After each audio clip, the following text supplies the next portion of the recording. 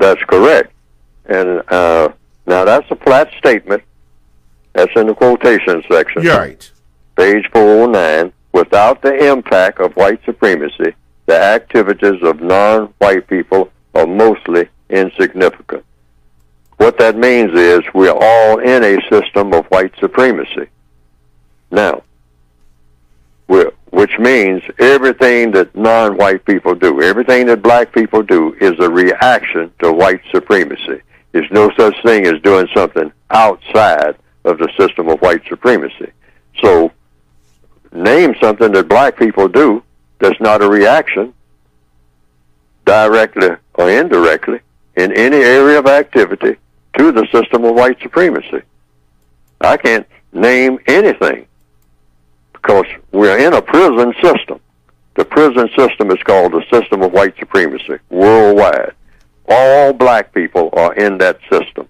There's no such thing as a black person being on this planet or in this known universe as we know it who is not subject to the dictates of the white supremacists.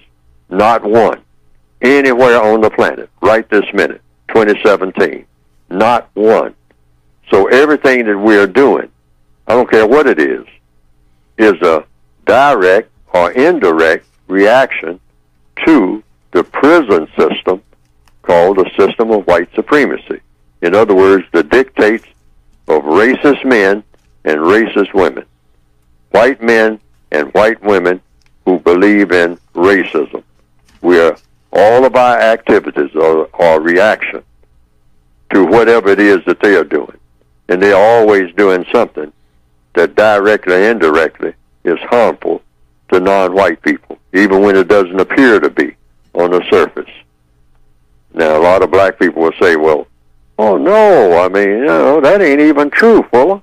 I mean, uh, you know, I'm making money and I got a nice little shop there in the neighborhood and all like that, and I'm able to do this and do that. Well, it's white, because the white supremacists want you to do that and want you to be there. And I don't care where you are on the map. I mean, not just in the so-called hood in the northwestern hemisphere. I don't care if you're if you're black and you're in Brazil or you're in Venezuela or whatever name they call the place, Nigeria. You're subject to the dictates of the white supremacists, and that shop that you have is all being controlled by them. Even though you don't see any white people any, anywhere around you ever. You're born in a village where you never see a white person, but they are controlling your destiny. Why? Because they control everything that non-white people do, non-white people do on this planet. That's what people don't understand. That's why I say if you don't understand white supremacy, everything else that you understand will only confuse Only you. confuse you, yeah.